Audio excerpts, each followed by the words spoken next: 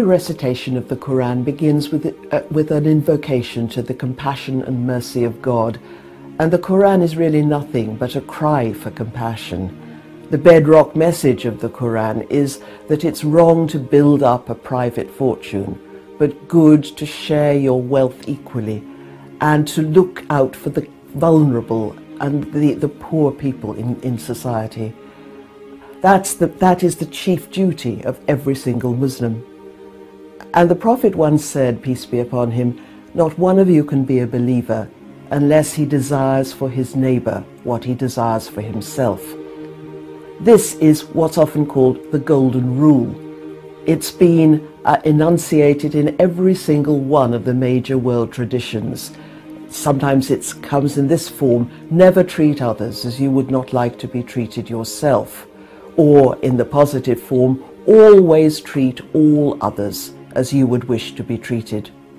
And all the faiths have said that this is the test of true spirituality, and it is this that brings us into the uh, presence of what we call God. So, compassion is key to the religious life.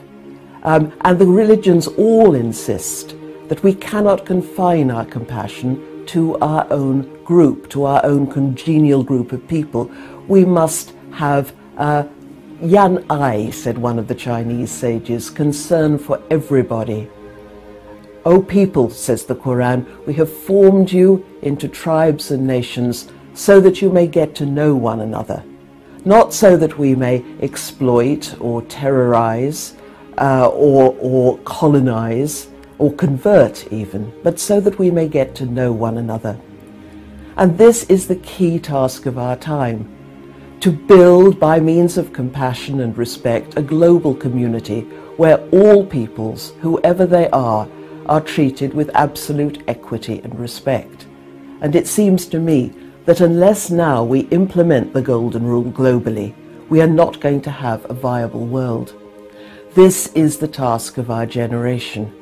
And we all have a duty to look into our traditions, to find that compassionate core and make it speak to the world. We all have to become avatars of compassion as the Prophet was, peace be upon him. We have to be messengers of compassion in our time. Um, and we have to do this globally, even to people with whom we feel enmity, who dislike us, or who are at war with us. Somehow we have to learn, as the Prophet did, peace be upon him, to speak to people who are hostile to us in a way that is non-threatening, non-aggressive, but who try to see where their pain is coming from.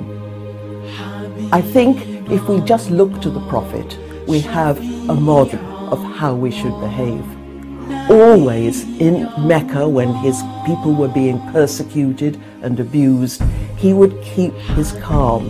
He wouldn't allow himself to respond aggressively, even when he was physically abused and threatened in any way.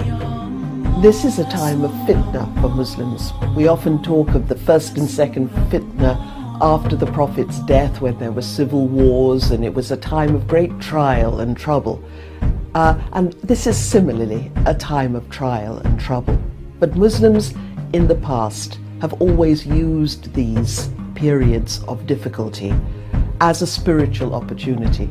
They've racked their brains and thought creatively how to bring the compassionate and the, and the deep spiritual lessons of the Quran to a violent and troubled world.